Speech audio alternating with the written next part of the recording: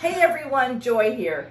Um, this is Mama Mia, and I'm going to tell you her story. And it's a thing I'm going to talk about today where I'm a little bit irritated, um, so it might be a bit of a rant, so bear with me. So Mama Mia had, she's about maybe seven months old. Well, we know she was a tiny kitten in December. So she's maybe seven and a half months old, and she has, okay, one,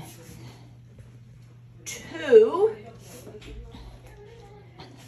three, four, five kittens. I mean, are these the cutest? So what the story is, um, a woman in a jurisdiction nearby that is not really in Fieldhaven's focus area. She found the mom and kittens, and she knew the mom was there last, like I said, last by around Christmas time. But she saw the mom had kittens. She disappeared for a while, came back and had kittens.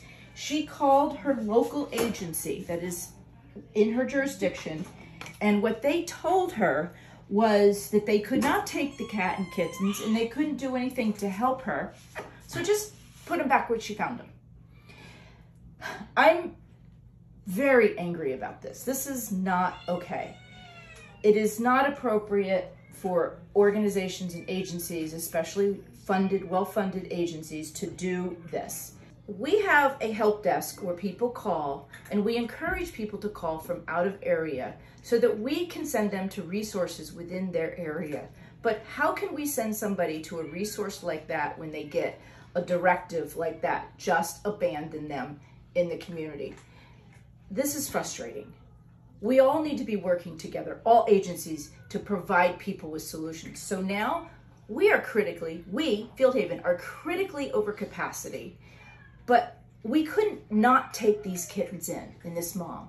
So I am reaching out to organizations and saying, let's work together, okay? I want to be able to call you and know that if I send somebody to your organization, you're going to give them appropriate resources, not just put them back where they came from or take them a mile away and dump them. That's not appropriate. So I'm begging all of you out there that are working for or running organizations, especially municipal organizations, please give folks resources and help them. Thank you.